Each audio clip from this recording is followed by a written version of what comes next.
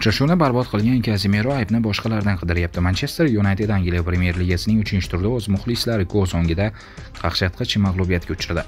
Manchesterliklarning darvozasiga kiritilgan 3 ta goldan ikkitasi braziliyalik legioner Kazimironing xatolari tufayli yuzaga keldi. Shundan so'ng uning o'rniga tanaffusda boshqa o'yinchi maydonga tushirildi. Ma'lumotlarga qaraganda Kazimiro jamoada o'zini noqulay his qilayotganidan nolimoqda. Tajribali futbolchiga bosh murabbiy Erik ten Hag qo'llayotgan yangi taktik sxemalar umuman yoqmagan.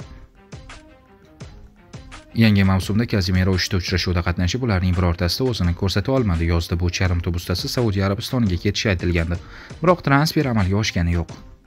Assalomu alaykum barcha barchaga. Тренировка qilib semirmoqchi bo'lgan massa olmoqchi bo'lgan akaxonlarimizga mana bunaqangi mega gener undan tashqari muskul masla bir ming bir yuz kaloriyalik generlarimiz kelgan. Наличиеda bor zakaz berish uchun bemalol qo'ng'iroq qilishinglar mumkin. Yetkazib berish xizmati mutlaq bepul. Manzillarimiz metro senniy площадь sadoy o'ttiz ikki sankt peterburgda bizning ofis magazinlarimizga metro avtozavodskiy uchinchi vходdan chiqishingiz bilan chap tarafga to'g'ridagi обувной sentrga kirishingiz mumkin. Abunoy sentr ichiga kirishinglar bilan o'ng tarafda abu sahiy deb yozib qo'yilgan shuni ichiga kirasizlar. Husanov va bir necha o'yinchini qo'yib yuborishdi. Milliy futbol ligalarida FIFA kunlari munosabati bilan qisqa tanaffus e'lon qilindi. Tarkibida turli mamlakatlar, terma jamoalar o'yinchilari bor klublar ularni qo'yib yuborishiga to'g'ri keldi. Yevropaning top ligalaridan hisoblangan Fransiya chempionatida ishtirok etayotgan Lans asosiy tarkibning 7 nafar futbolchisi bilan vaqtincha xayrlashdi. Lansdagi legionerimiz Abduqodir Husanov ham Srechio Katanesdan chaqiruv oldi va terma jamoamiz ixtiyoriga yetib keldi. 20 yoshli markaziy himoyachi 2026-yilgi Jahon chempionati mintaqaviy saralash turniri 3-bosqich o'qishda ishtirok etayotgan O'zbekiston milliy terma jamoasiga yordam berish kerak.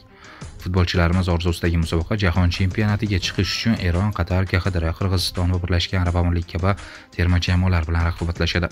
Guruhda dastlabki ikki o'rinni egallagan jamoalar to'g'ridan-to'g'ri mundialga yo'llanma oladi. Keyingi ikki o'rin sohiblari saralashni davom ettiradi. Fransiya futbolini yoritib kelayotgan Le 11 HD nashri Lansdan terma jamoalarga jalb qilingan o'yinchilar va uchrashuv vaqtlari bo'yicha ma'lumot tarqatib, muxlislarni jamoa vakillarini xalqaro maydondagi bahslarda ham qo'llab-quvvatlashga chaqirdi. Qizig'i shundaki, lansliklar safida deyarli barcha qit'alar Yevropa, Osiyo, Afrika, Janubiy Amerikadan futbolchilar bor ekan. Buni quyidagi ro'yxatdan bilib olsa bo'ladi. 5-sentyabr O'zbekiston, Shimoliy Koreya O'zbekistonda Husanov 2026-yilgi Jahon chempionati saralashi. Shotlandiya, Polsha, Frankovskiy Millatlar Ligasi. 6-sentyabr Fransiya, Samba Italiya Millatlar Ligasi.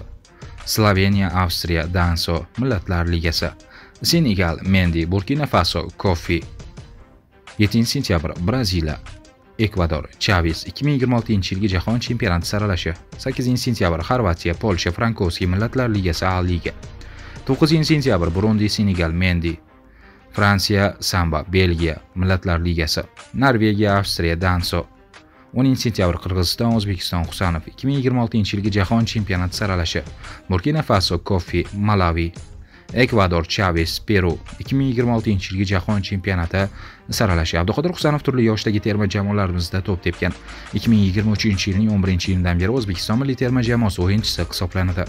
Markaziy himoyachi hozirga qadar mamlakatimiz bosh jamoasi safida xalqaro maydonlarda jami 14 ta uchrashuvda ishtirok etgan. Eldor Shomurodov va nihoyat uzoq kutilgan yillardan so'ng biz uchun yana asosiy bosqich boshlanadi. O'zbekiston terma jamoasi bosh murabbiyi Srechko Katanes hamda jamoamiz sardori Eldor Shomurodov ertangi o'yin oldidan matbuot anjumanida ishtirok etishdi.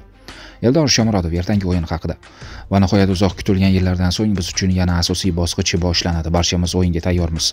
Maqsadimiz yo'lda bor kuchimiz bilan harakat qilamiz. Avvalgi sikllar davomida yosh futbolchi sifatida qatnashganmiz va tajribali futbolchilar bilan birga harakat qilganmiz. Biroq bu gal endi mas'uliyat o'zimizda o'rgangan tajribalarimizni ishga solishimiz kerak. Bizda tayyorgarlik uchun yetarlicha vaqt bo'ldi. Va yana shuni aytib o'tishim kerakki, barchamiz bir oila bo'lib birgalikda asosiy vazifani bajarishga ishonamiz. Ilk chaqiruvimdan to hozirgi kunga qadar har doim eng yuqori xohish bilan harakat qilganman. Barchamiz jahon chempionatiga chiqishni orzu qilamiz. Shu sababli har bir o'yinda faqat bitta maqsad bilan harakat qilamiz. Bu yo'lda barcha imkoniyatimizni ishga solamiz.